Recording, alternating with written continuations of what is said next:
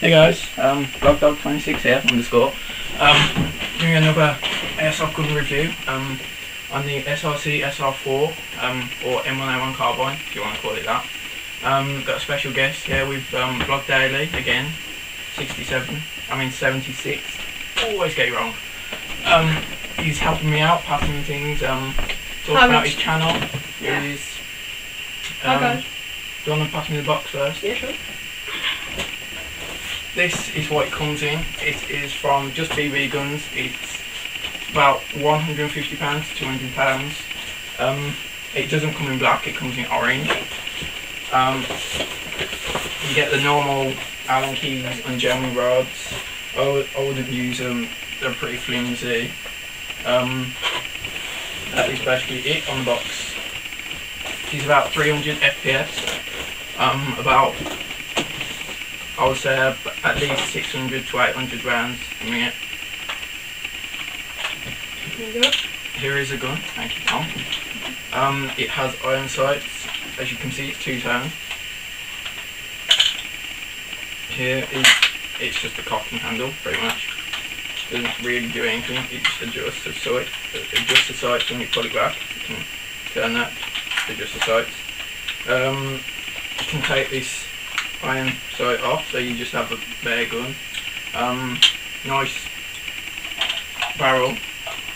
Um, pretty much all male except the orange part. Sling strap there, and you can tie it through there. Um, pass me the magazine, Tom. Sure. Here is a magazine, holds 300 rounds. Um, there's a huge opening there, the trap door. Um, you just them through and you just put in there. Um, then when you fire it, you need to scroll it up so they all enter the barrel.